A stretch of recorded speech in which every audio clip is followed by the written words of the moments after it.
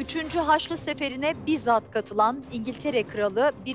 Richard hangi takma adla anılırdı?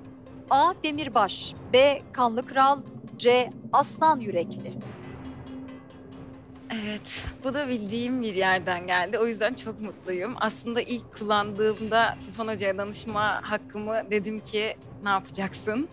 Ama şu anda e, Demirbaş Kral Charles diye hatırlıyorum. Bu İngiliz kralı de, İngiltere kralı değildi. Kanlı kral kim? Bilmiyorum. İnanın tanımak da istemezdim. O yüzden C Aslan Yürekli Richard demek istiyorum. Onaylıyor musunuz? Onaylıyorum Pelin Hanım. Bakalım bu cevap size 15 bin lira kazandıracak mı?